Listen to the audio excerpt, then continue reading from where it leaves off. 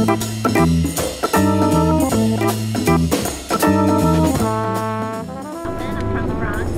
i'm an illustration major and today at the workshop. I learned a lot of cool techniques for next week and also the importance of knowing your design when you get here.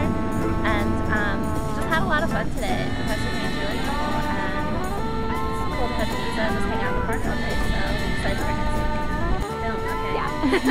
Hi, I'm Valerie Stecker. I'm a freshman and of my major, but I'm thinking illustration or fashion slash accessory design.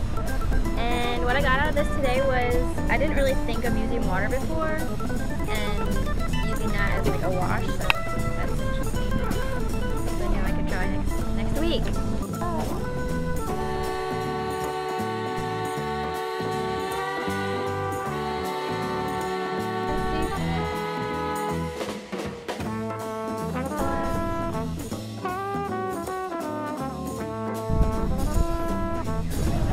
What's your name? Lauren Alexander.